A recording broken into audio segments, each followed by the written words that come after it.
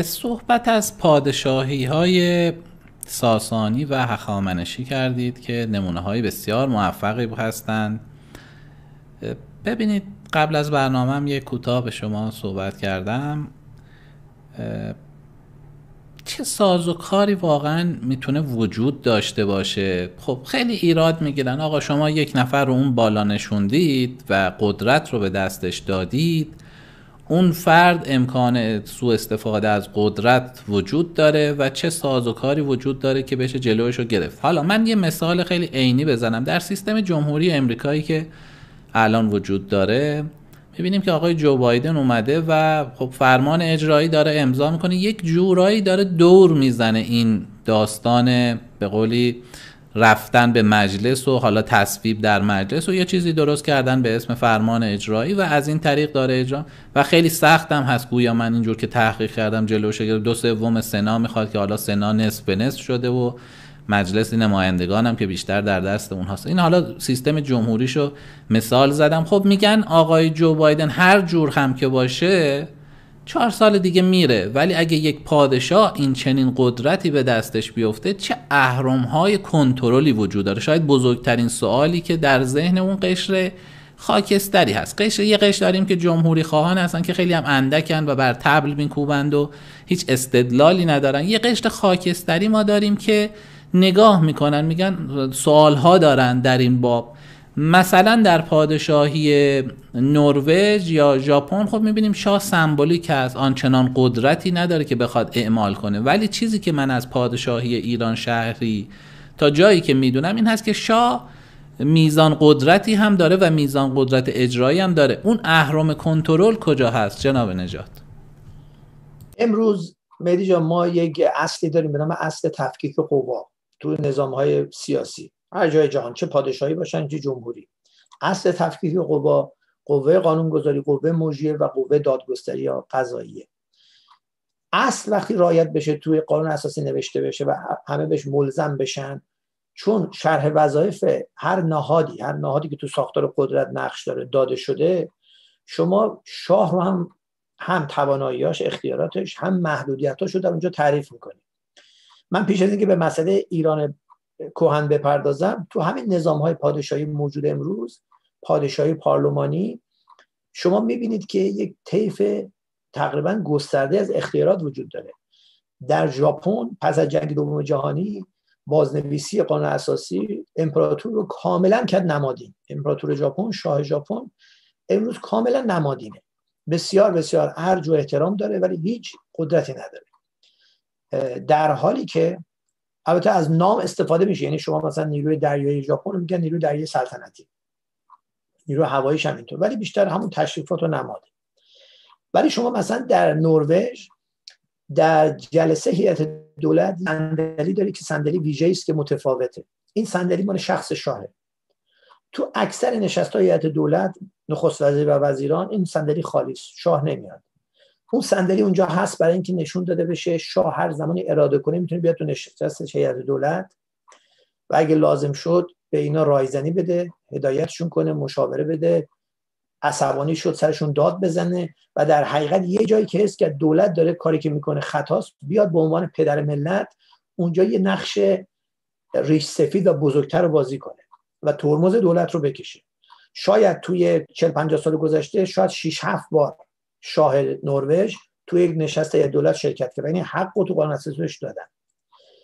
و بعد می‌بینیم که اونورتر در انگلستان ملکه انگلستان همین ملکه کنونی شما وقتی عنوانش گفته میشه میگن the head of state and church.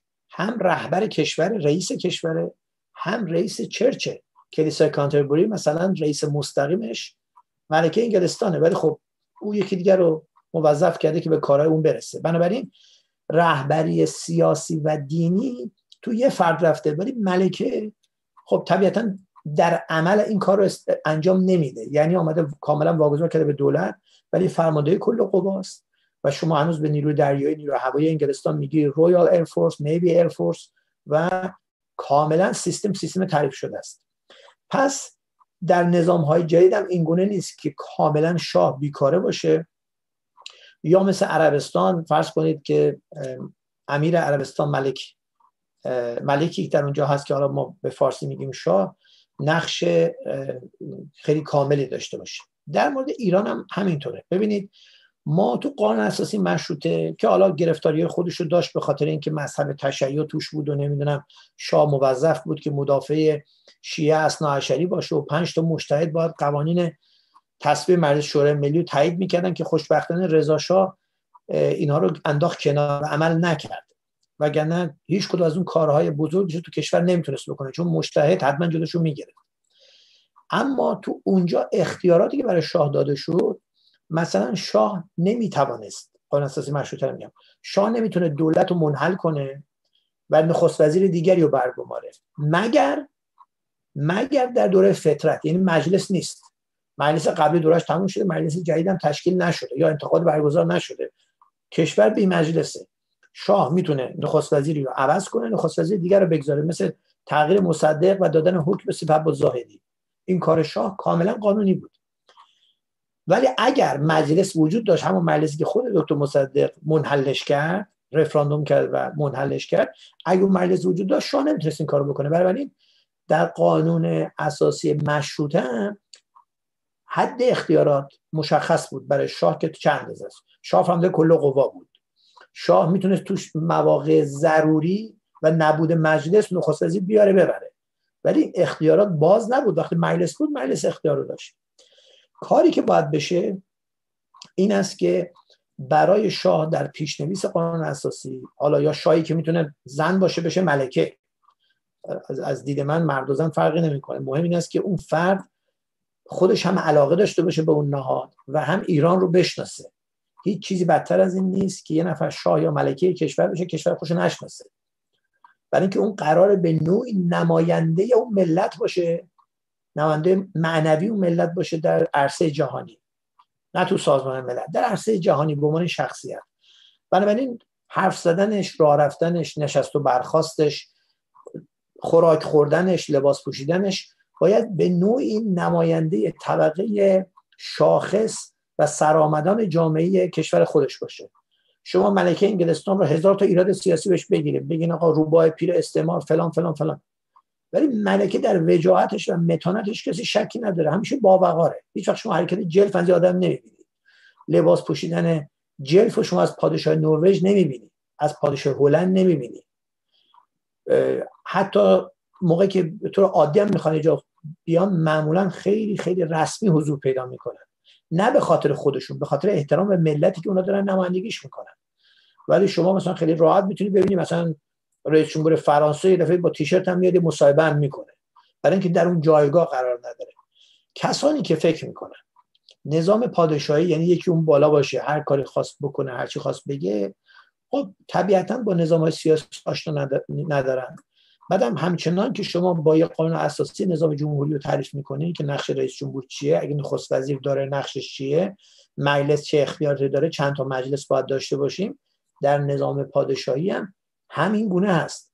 اینکه یه عده‌ای می‌خوان مثلا خیلی صورت مثلا ساده کنن که آقا یکی اون بالا بذاریم که چی؟ اولا یکی اون بالا نیست بلکه یکی قرار نقش همبستگی و پیوستگی آهاد ملت رو بازی کنه. دوم اینکه اختیارات سیاسیشون تعریف شده است و بیمرز و افسار گسیخته نیست. سوم اینکه شما خیلی وقتا دست کم در کشور خودمون اینو دیدیم.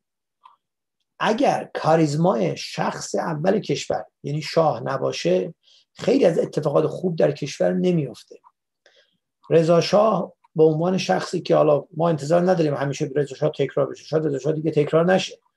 به عنوان شخصیت تقریبا آرمانی بهش نگاه کرد. اگر رضا و اون شخصیت کاریزماتیکش نبود و اون فشارش و اون اصرارش و اون انگیزش و هل دادن دیگران نبود کشور تو 16 سال چهرهش عوض نمی‌شد. از عصر حجر در نمیومد به قرن بیستم برسه. اون موقع پول نفتی هم که نبود امکاناتی هم که نبود. هر چی که بود با همون کشاورزی با بدبختی بود که در می آوردن هم دانشجو به خارج میفرستادن هم زیر ساختای کشور می ساختن هم باید ارتش برای اون کشور درست می‌کردن هم آموزش همگانی میذاشتن هم بهداشت سراسری می‌کردن خب اگه با هر کلای شما بخواین بشینین به عنوان قاضی و قضاوت بکنید خب این کار غیر ممکن بود از سوی یک رئیس جمهور حتی رئیس جمهور خوب بر بیاد نمی‌شد.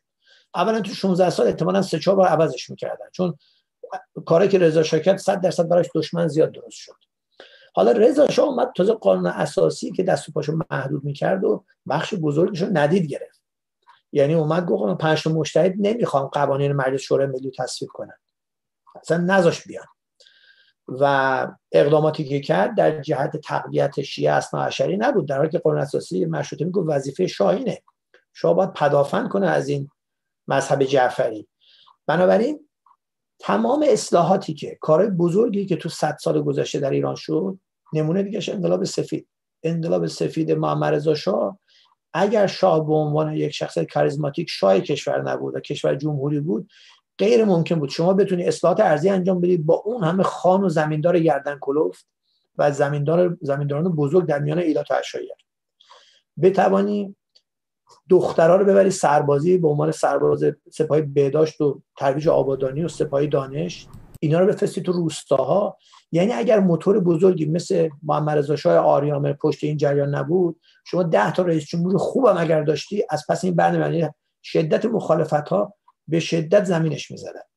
شما تو همین امریکا چهار سال پرزیدنت ترامپ رو دیدید اومد گفت من این کارو می‌کنم اون کارو می‌کنم. آمد و هر کاری که وعده داده بود دنبالش رفت بعضی رو عملی کرد بعضی رو کنگره جلوشو گرفت. یعنی مجلس نمایندگان و سنا به نوعی جلوشو گرفتن. ولی آنچه که گفته بود رفت دنبالش. بعد چهار سال دیدین چجوری زمین استادن. حتی برخی از هم حزبیاش زمین استادن. برای که شما باید اینجا بیای با ساز همه برقصی. قرار نیست شما چون اومدی و تر و خوب انجام بشه.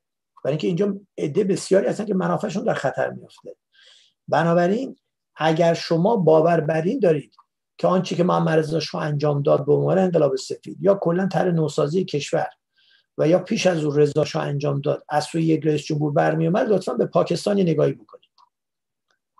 پاکستان 1948 از تجزیه هند به وجود اومد. آقای محمد علی جنا مسلم لیگ و پس از اون کاملا به صورت دموکراتیک تا اکنون اداره شده. یعنی انتخابات در پاکستان واقعی احزاب آزادن رسانه ها آزادن.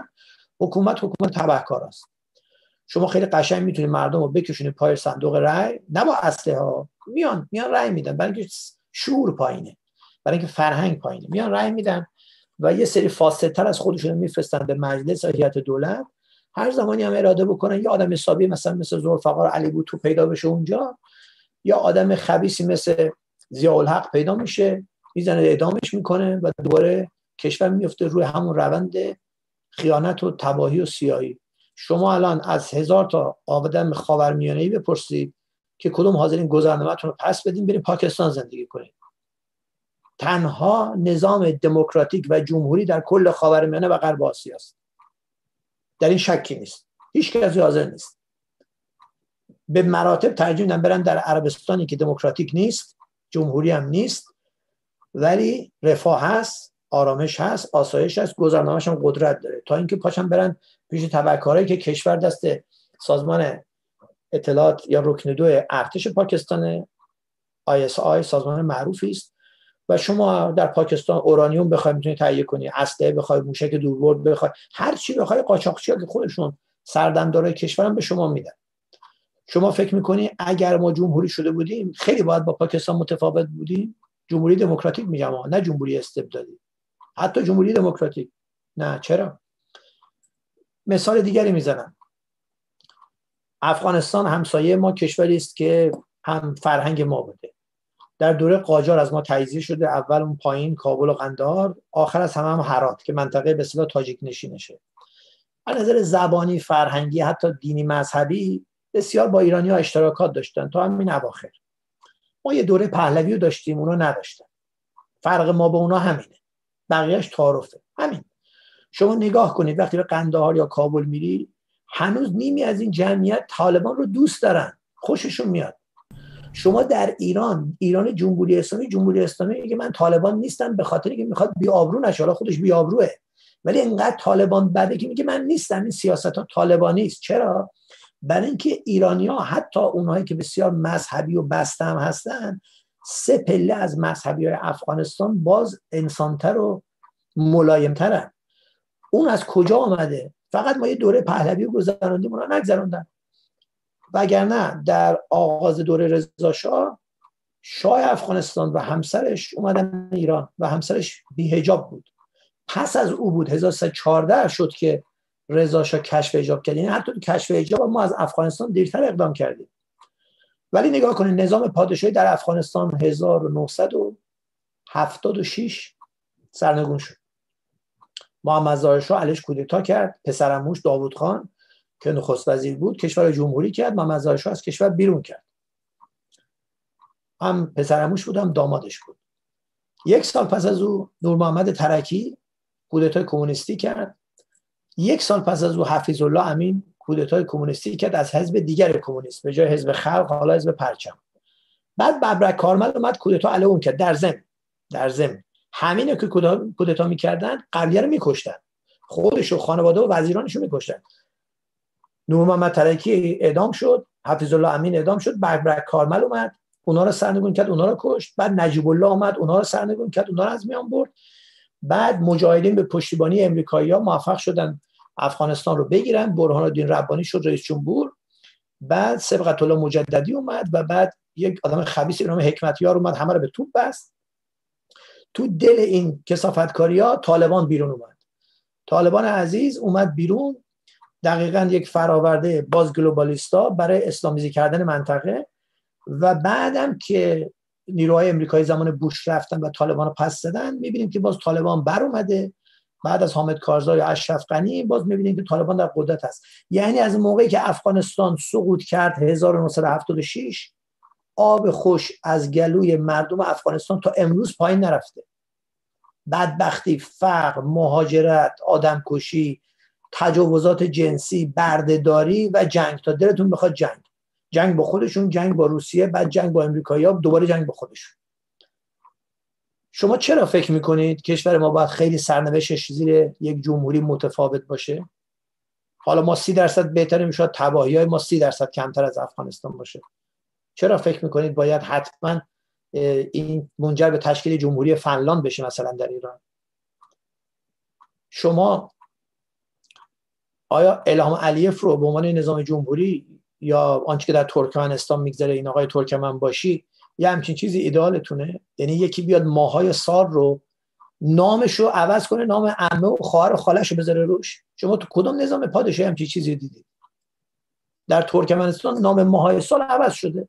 طرف نشسته گفته نام ماهای سال خاله و عمه و خواهر و خواهرزاده من باشن. یه همچین خودکامگی شما تو عربستان سعودی هم نمی‌بینید یکم منصف باشید یکم دور نگاه کنید یکم جغرافیایی که درش قرار گرفته رو ببینید. شما تو جغرافیایی که درش قرار گرفتید انصافا. مهدی جان یه پرسش ساده. به شما می آقا شما الان گزینه داری یک از این دوتا راه سومی هم نداری یا برو اردن زندگی کن یا برو سوریه کدوم انتخاب می‌کنی. طبیعتا اردن؟ میری اردن پادشاهی نمیره سوریه جمهوری. به شما میگم آقا شما امکانی داری برید لیبی یا بری مراکش؟ کدوم دیوونه الان حاضر بره لیبی جمهوری زندگی کنه؟ میره بغل دستش مراکش پادشاهی. و لیبی که خیلی هم افتخار می‌کنن که بله این رو آمدیم و دموکراسی آوردیم. یعنی الان من با یه دوست لیبیایی صحبت می‌کردم اینجا. اینا می‌گفت که زمان قذافی نزدیک دیویست هزار اگه اشتباه نکنم 20 هزار یا دیویست هزار تا. از همین مردم ترکیه اونجا در قسمت نفتی کارگری می‌کردن. بعد این اومده بود اینجا یه سیم کارت نداده بودن. خیلی شاکی بود. میگو نگاه کنی به چه بدبختی افتادیم. یه سیم کارت اینجا برای ما باز نمی‌کنن.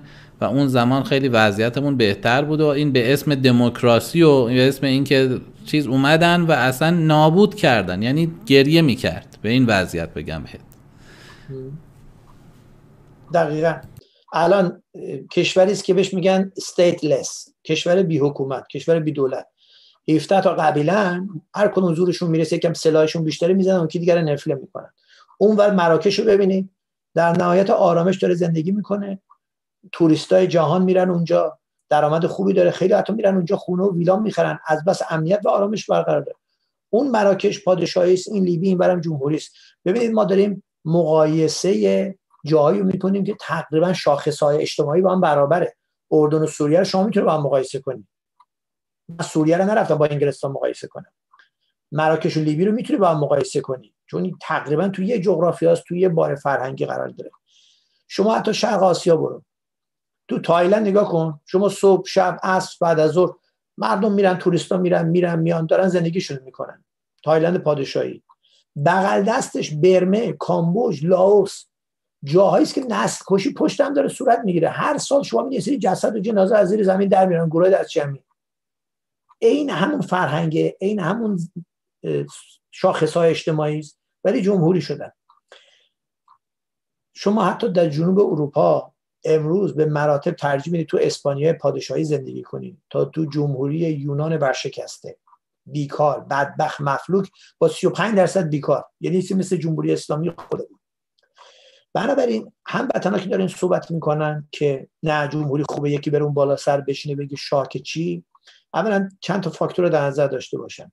در کشورهای منطقی جمهوری شدند همین عراق بغل دست خودمون این نمونشه کودتا شد شاه و خانوادهش رو کشتن شاه جوانسال رو آقای عبدالکریم قاسم و بعد خودش توسط کودتای عبدالسلام عارف دستگیر شد کشته شد. بعد یه عارف دیگه برادر اون اومد کودتا کرد بعد حزب بحث آمد حسن و بک قدرت رو گرفت بعد صدام اونها رو کنار زد خودش بعد جنگ شد بعد جنگ دوم شد بعد امریکایی ها ریختن بعدم که می‌بینید وضعیت کنونیش هم دارید می‌بینید. بنابراین شما از عراق هم که این برای ما قرار داره در سمت غرب ما قرار داره ببینید پس از سقوط پادشاهی به چه روزی افتادیم؟ فقط ما نیستیم که 42 سه سال داریم تقاس پس میدیم. اینا هم هستن. و من نمی‌دونم چرا ایرانیان اونایی که باید یه مقداری همت کنن یه مقدار سلولای خاکستری مغز به کار بیاندازن دور رو نمی‌بینن. آقا اصلا شما نظام پادشاهی رو چه به عنوان یک نظام سیاسی دوست دارید یا ندارید؟ اصلا فرض کن شما باش مشکل دارید. آقا مسلحت کشور که بالاتر از همه چیزه. مگه چیزی بالاتر از صلاح ایران و اون ملتی که اونجا زندگی کنن هست؟ اصلا سیاست چه علمی؟ سیاست علمی است که شما بتونی بگی آقا من راهکاری میدم سازوکاری رو به کار می‌گیرم که یه ملت بتواند به رفاه و امنیت و آزادی و استقلال و سرفرازی برسه. شما اگه این کار بکنی شما بزرگترین سیاست مدار عصر خودت هستی. خب وقتی داریم می‌بینیم که دور بر ما چه خبره شما چه استاری دارین؟ چرا فکر می‌کنید ما بهتریم؟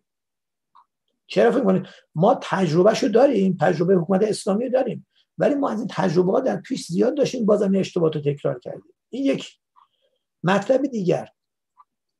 شما در آلمان سیستم جمهوری است. خب بعد چند سالی بار اینا عوض میشن بهش میگن صدر اعظم. خانم مرکل و باز بعدی میاد و بعدی.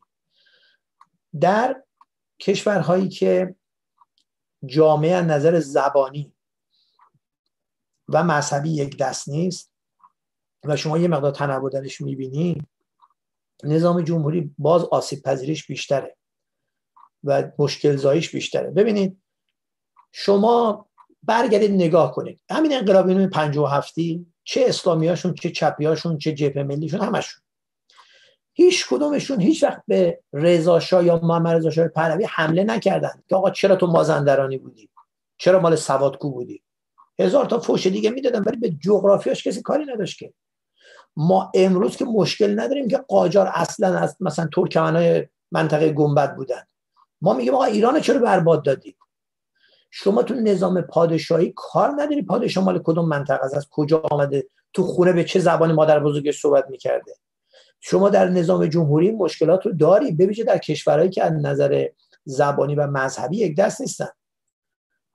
این مطلب پیش میاد. شما تصور بکن. فردا شما همین سوریه 15 درصد علوی داره که شیعه هستن. البته شیعه علوی خیلی غیر مذهبی هم بسیار لایکن. مثل همین خانواده اصل. 15 درصد ارمنی داره. 15 درصد کرد داره که کردها سنی ان عمدتا. و بقیه که حدود 50 55 درصدن عرب سنی. شما ببین تو همه اتفاقات مهمه که طرف از کجا آمده کیه مال کدوم منطقه است. دیگه شما رو اشتراک سیاسی و اینکه این فرد هماندیش منه نگاه نمی‌کنید. دیگه من نگاه نمی‌کنم که مهدی میرقادری هماندیش منه. من میگم نه اون بچه شیراز من نمیگم که پیدا می‌کنم مثلا بچه خراسان باشه یا بچه همدان باشه. این یعنی یک نگاه قبیله‌ای عقب مانده که کسی که میگه من دنبال جامعه مدنی هستم دنبال یک کشور پیشرفته هستم شرماور اینگونه به غذا نگاه کنه. اگه بخواد قومی قبیله نگاه کنه خب ما ممالک محروسه ایران داشتیم پیش از این در دور آقا جان. این دیگه ارتجاع مطلقه.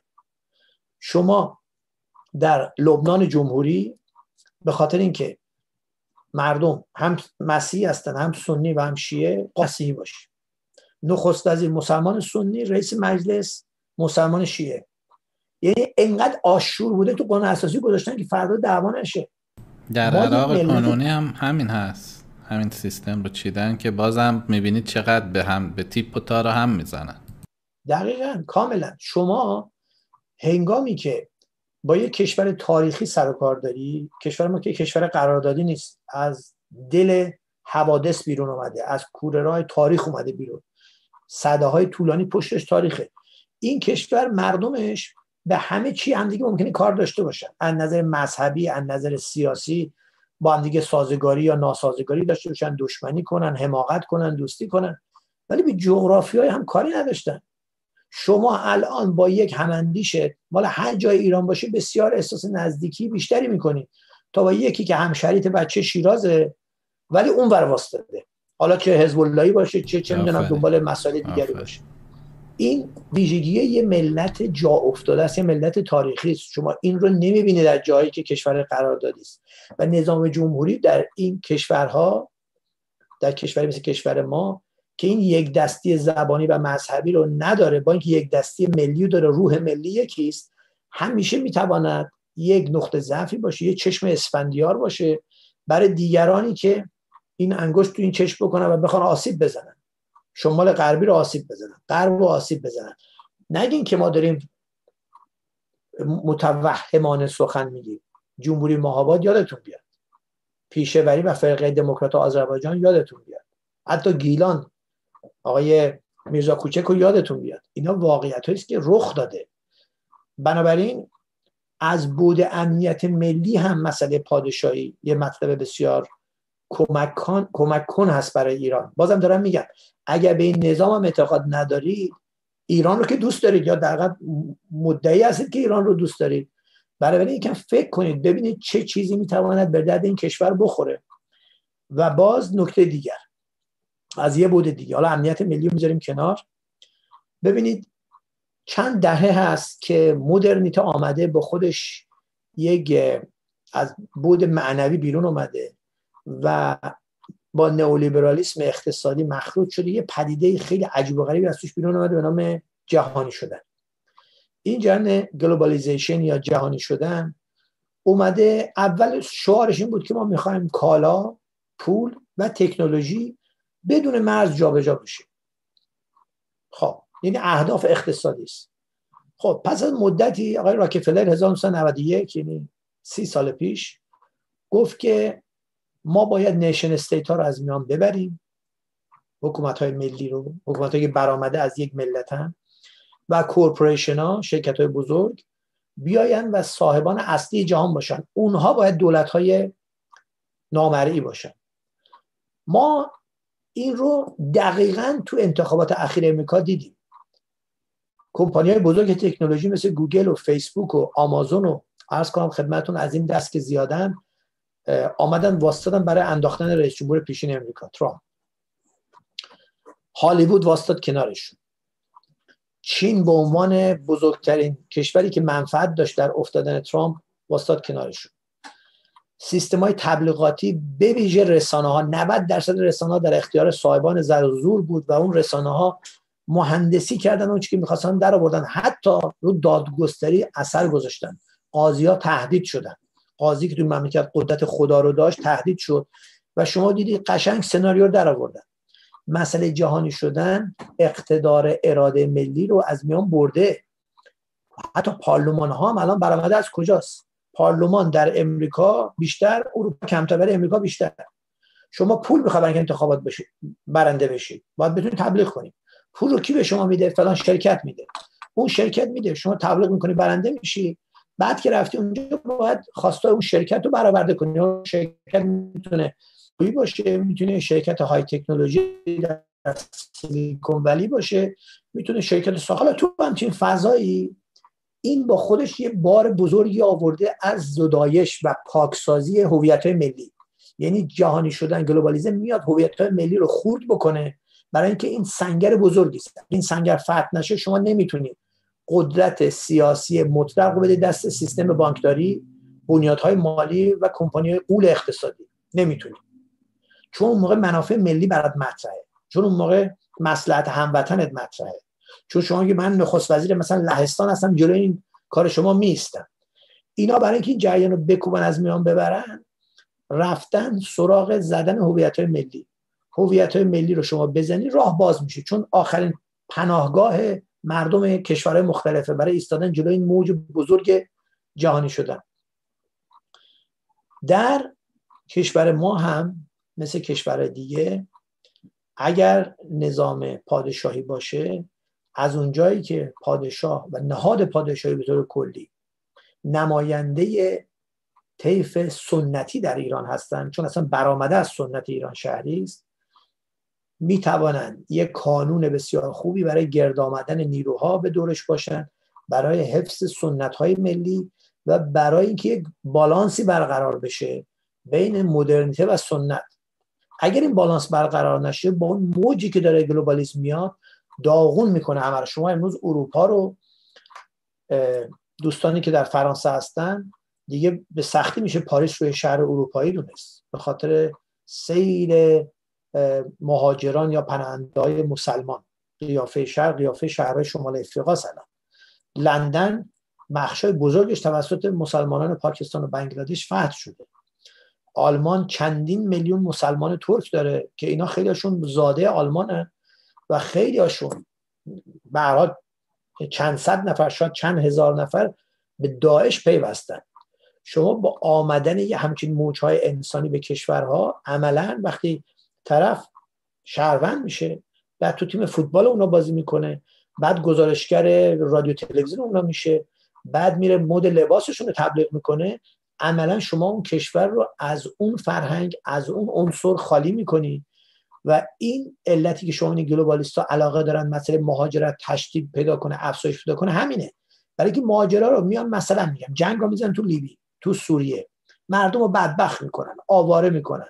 به کشتن میدن. صدها هزار نفر میان یه دفعه ظرف مثلا شش ماه وارد آلمان میشن. اون بیچارا قربانی جنگن. چاره ای ندارن. باید فرار کنن بیان یه جای امنی. آلمان هم این وسط راه رو باز می‌کنه. اینا میان و شما می‌بینید ظرف مثلا دو سال سه سال 5 میلیون چهار میلیون از اینا که وارد میشن عملا بافت جمعیتی عوض میشه به مرور. و زاد و ولد خیلی زیادی هم می‌کنن. صد درصد. زاد و ولد زیادی می‌کنن. اون هویت فرهنگی رنگ میبازه کم رنگ میشه و بعد شما می‌بینید مثلا گلدسته ها بلند میشن صدای اذان از برخی محلات میاد. یه موقع مثلا یه خانم با برقه خیلی عجیب بود. امروز مثلا خیلی راحت شما می‌تونید تو شهر اروپایی ببینید. قیافه های طالبانی ریشای بلند و امروز خیلی می‌تونی ببینید. امریکا می‌تونه ببینید. و این یعنی شما انقدر هویت محلی رو هویت ملی رو کمرنگ می‌کنی فرهنگ رو انقدر نابود می‌کنی اگه صدات هم در بیاد میگن ریسیسته. صدات در بیاد میگن ریسیست داغونت می‌کنن. و این فایده دو پهلوه برای گلوبالیستا. چون هم با این کار هویت ها رو از میان می‌برن به خاطر موج مهاجرت یه سری بدبخت و آواره می‌کنن میارن اونجا. و دوم اینها چون با پشتیبانی یعنی مهاجرات چون با پشتیبانی را به کشور جدید اومدن طبیعتا رأی دهنده به احزاب اونا میشن. چون ماجرایی که میان در امریکا میرن عمدتا به دموکرات ها رأی میدن. ماجرایی که میرن به انگلستان میرن به حزب کارگر رأی میدن. یعنی سود دوبله می‌کنن. حالا نهاد پادشاهی که باید فرا سیاسی باشه باید فرا دینی باشه فرا تباری حتما هست. کاری که می‌تونه بکنه این است که به عنوان یک پایگاه سنت کمک کنی موازنه برقرار بشه. نه جامعه اینقدر سنتی بمونه که پسمانده باشه و دچار توسعه و سنتی شدن نشه و نو نشه و نه اینکه آنچنان یه مدرن بشه کاملا لخت و اور بشه از همه چی خودش خالی بشه و نابود بشه. مثل خیلی از جایی که داریم می‌بینیم. بنابراین این یکی دیگه از کاربری های نهاد شهریاری در ایرانه که در جای دیگه هم هست نه که فقط در ایران. ولی ما با جمهوری این نقش رو نمی‌تونیم از ریاست رئیس جمهور و یا کلا اون نهاد بخوایم. چون عملی نیست و هیچ خیشکاری و وظیفه در این زمینه نداره.